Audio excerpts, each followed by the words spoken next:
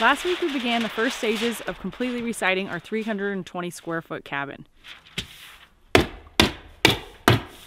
Installing house wrap proved to be more challenging than expected with ice on the ground and the height that we needed to reach.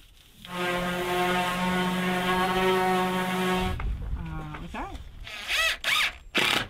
Up the newly sanded and painted trim went around the windows, only for snow to halt our spring project.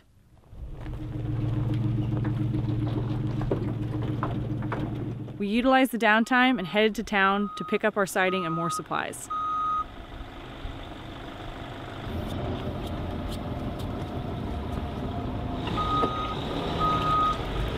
Before we knew it, the sun returned and the warm weather was here to stay.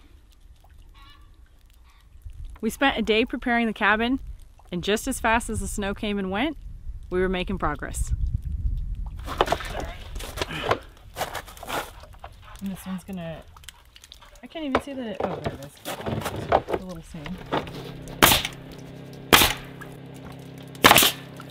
Do you have one long enough? Uh, no, well we gotta cut a new one. So we're exactly 173 and a half.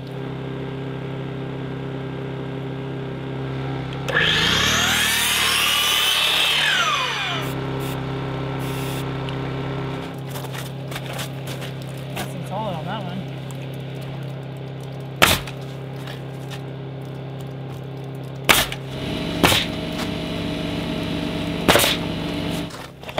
Good ammo.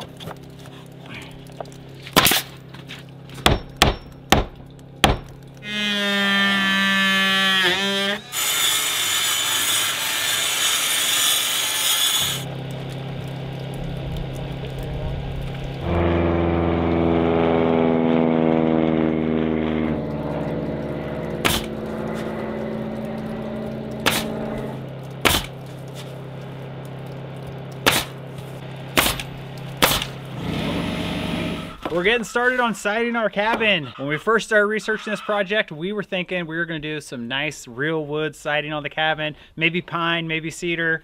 Realized quickly those were definitely out of our price range. So we went with this. This is LP Smart Siding. This is a lap siding. It looks pretty much like a OSB to me on the, on the inside here. And it's primed on three edges. You do not need to back prime. What that means is you don't need to prime the back side of this. These are ready to go up on our walls. Each one of these pieces are eight inches by 16 feet long. So we gotta do a lot of cutting to get them to fit our cabin perfectly. We picked up a whole trailer full. So we got 112 pieces of the siding and a whole nother stack of trim. This is what we've got done so far. We got five layers.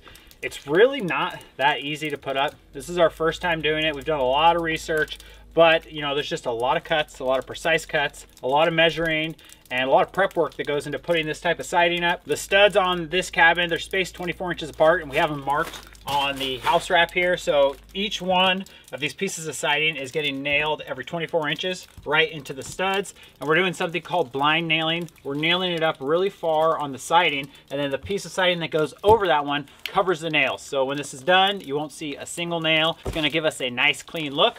The way the siding is designed is you can do different reveals and we went with a seven inch reveal. And what that means is that is the part that is showing. So from here down to the bottom, we got seven inches. Below this first panel, we had to put something on that was called a starter strip. Basically, we cut a one and a quarter inch section out of a piece of the siding. We nailed it to the back and that kicked out our first angle on the siding for us. And LP siding, they recommend 3 16ths of an inch gap between all butt ends on these panels. So this is a butt end, so where two of them meet, we have a gap there, and then we have a gap on that end where it meets the trim, and then we got a gap back on that end where it meets the trim. And you wanna leave a gap because you are gonna put flexible caulking in between those, and this stuff will expand on us. This one right here we just completed is probably the most difficult cut we've done on this project. We had to notch it around the window. We had to leave our little gaps. Turned out awesome. From here on forward, it should be just pretty straightforward until we get to the top. And at that point, we're gonna have to notch out all those rafters. So that's gonna be another interesting cut for us.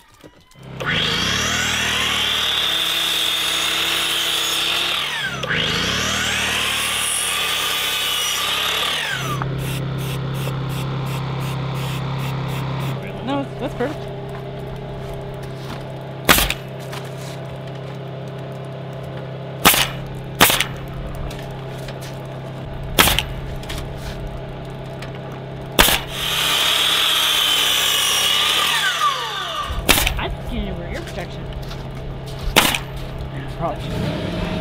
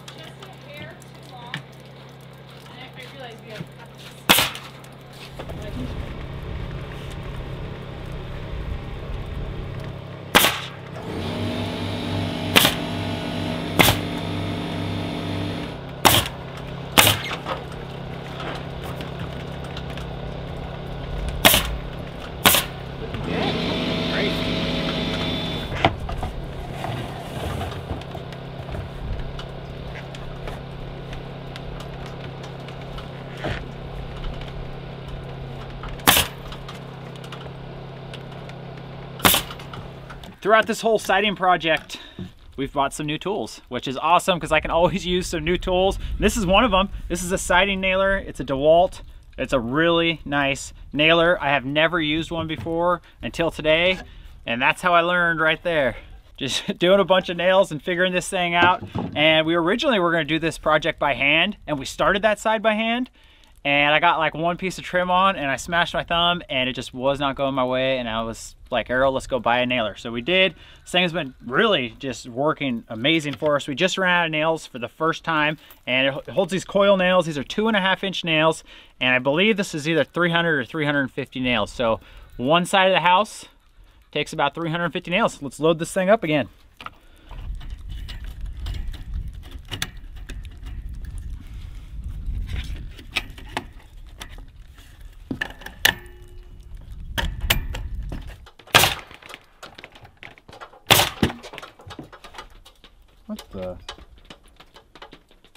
We're getting up to the part that I've kind of dreaded all day. And that's our rafters. We don't have like a soffit like enclosed, so it just goes straight into the rafters. And we're gonna have to notch one of these pieces of siding on every single one. And I think there's like 10 of them we'll have to notch, or maybe eight. But anyways, we're getting up to the point where we're trying to decide if we want to do a different sized reveal. And we've decided that we're going to go from our seven that we're doing right now, we're going to knock it down to a six inch reveal as we get closer uh, to those rafters. That way we have a big enough piece to actually notch out. So this one's already set at a six inch reveal. Let me get this one down to a six inch real quick.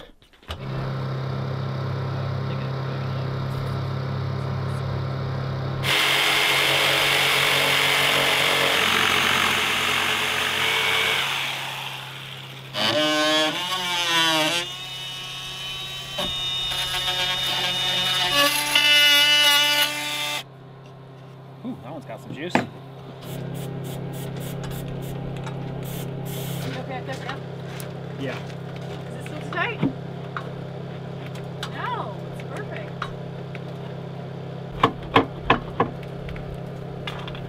Is yours good with your thing?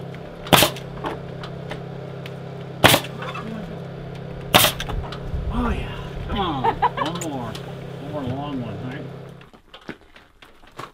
Alrighty, friends, it looks pretty good. I think we did a really good job for our first day for not not really having done this before. Um, Eric worked really, really hard and it was actually pretty miserable in the dripping, the rainy day we had over here. Hopefully that melts soon and we won't have to deal with that. But we got one whole side completed and it may not seem, seem that complex because it's just this little cube, tiny cabin we have, but it was challenging and I'm really, really happy with the way it looks. I think it looks impeccable.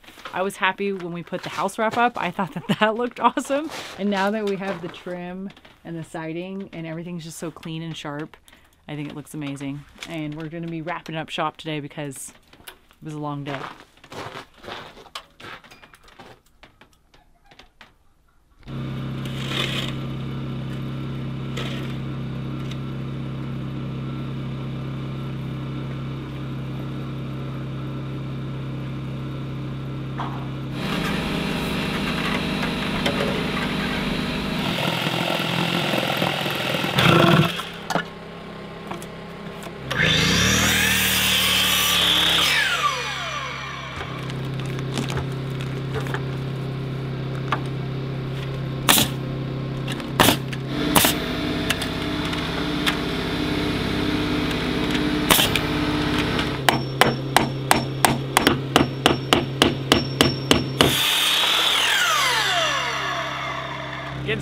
Next side of the house. Got a beautiful day. We should be here in the sun pretty soon. I'm cutting the trim. We've already got one piece up on that side. We're gonna put this piece up on the back side and we're gonna get started on our starter strip.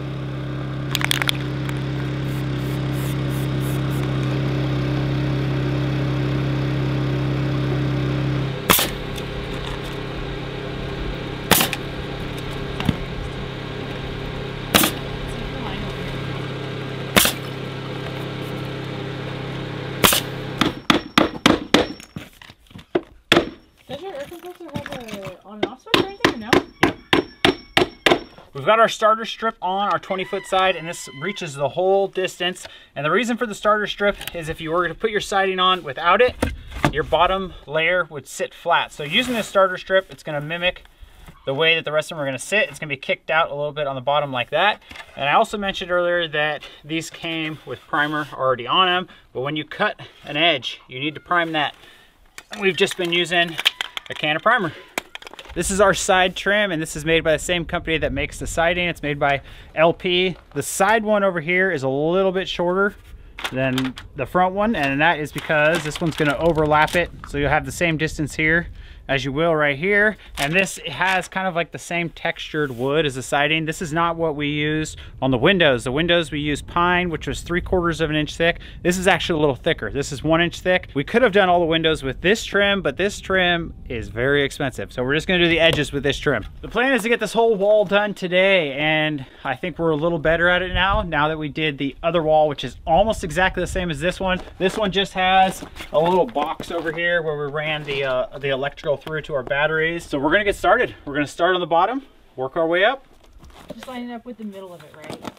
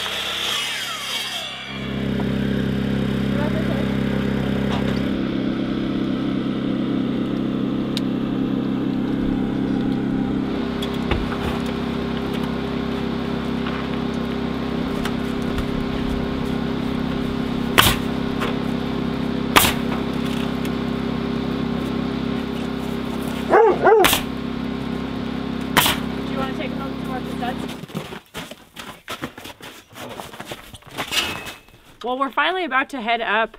I wish I could say that today has gone better, but it hasn't. It's actually been a nightmare. This side of the house, I don't know why, but it was just a lot more challenging. It was just trickier. So we're finally getting there. We're about to go up on the scaffolding and I just wanted to point out how we are kind of doing the seams, so to speak, where the two pieces meet up. We're kind of trying to stagger them. For the most part, we can use just whole sections because our cabin is so small. They come in 16 foot sections, but this is a 20 foot length. So we are having to stagger them and you want to kind of stagger them not in one line, if that makes sense, obviously. And we're making sure to leave the little gaps you're supposed to leave, 3 16ths of an inch, and it's looking pretty good. Those gauges, the gecko gauges, are working great. I don't know how we would get this job done without those. Bo reporting for service.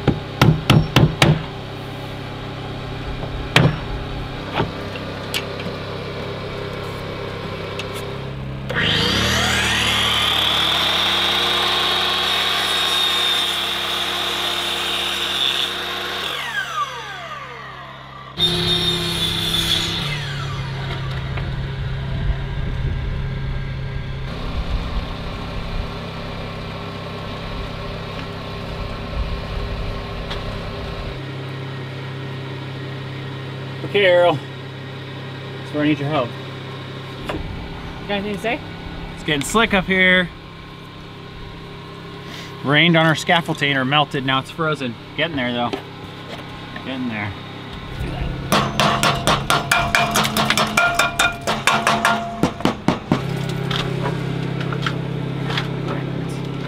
We have a variety of cutting tools we're using. We're using the miter saw whenever we can because that gives us the straightest cuts. And then we're, we've been using the jigsaw. We have a skill saw we've been using. And we've been using this little multi-tool a lot. And this one's working really good actually for these small cuts.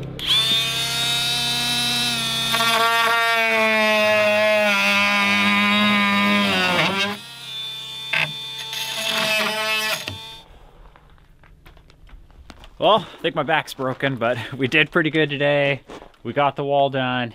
Pretty late in the evening. Doesn't get dark till like almost 10 o'clock now, which is awesome. But I think it's like 8 p.m. and stuff's starting to freeze. The temperature is really dropping today. We got a nice clear day. We got a lot of ice on our scaffolding, so we're gonna have to put this out in the sun. Hopefully tomorrow morning it'll thaw out for us. On this side, we kind of learned from the last side. Once you start getting close to the top, you want to start taking measurements on your overlaps or your reveal. Otherwise, when you get to the way top on your last board, you might end up with like a really small one. So we did that on this one. It turned out great. We went from about a seven inch reveal, we knocked it down to a six inch, and then we went five and a half, five and a half, five and a half, all the way to the top. Worked out perfect for us.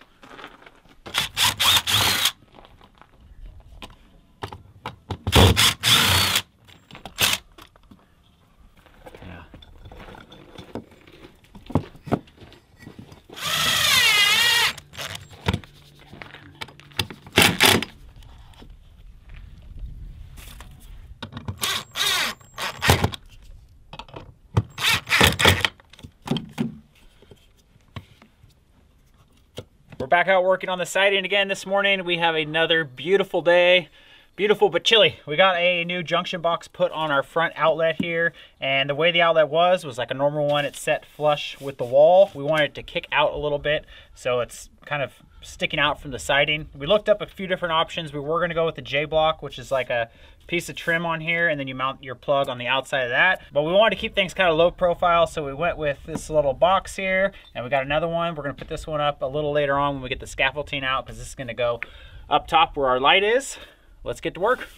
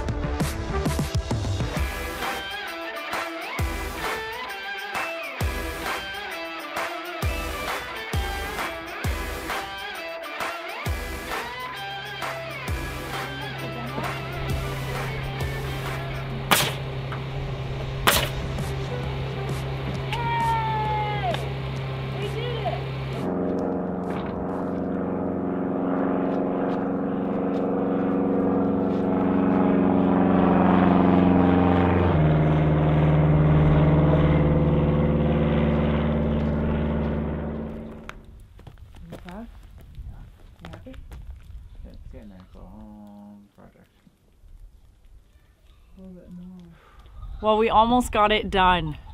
It is not quite complete. We can't actually get as high up as we need to get and we had already foresaw this problem. We're going to be renting some equipment soon to finish the job. Each wall took us one day, a little bit more than we anticipated and if you followed us at all for any of our projects, this was no exception of numerous trips to the hardware store. I think we had to go like six times unplanned. Did a lot of research and tried to get everything ready and buy extra stuff, but it's still, you know, we still fell short just a little bit. But I'm really happy with the way things looked. I know Eric's pretty happy with it too. I think it's I think it's gonna be beautiful when it's done. Ow. Are you okay? Yeah, I'm fine. Just electrocuted myself. Do you want? Are you okay? Yeah. Hate getting I electrocuted. know.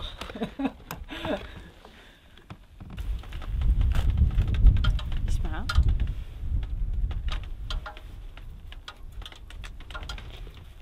Show him, show him, show him your smile.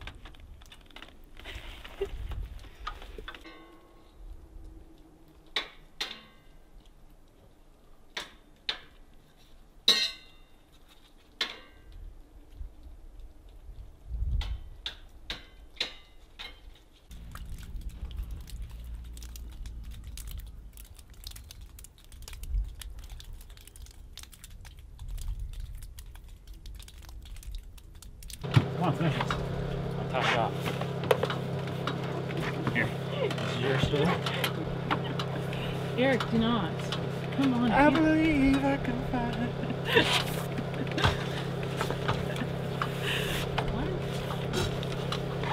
You were that awesomeness. You know, I'm sitting here, I'll use my head like this to hold me.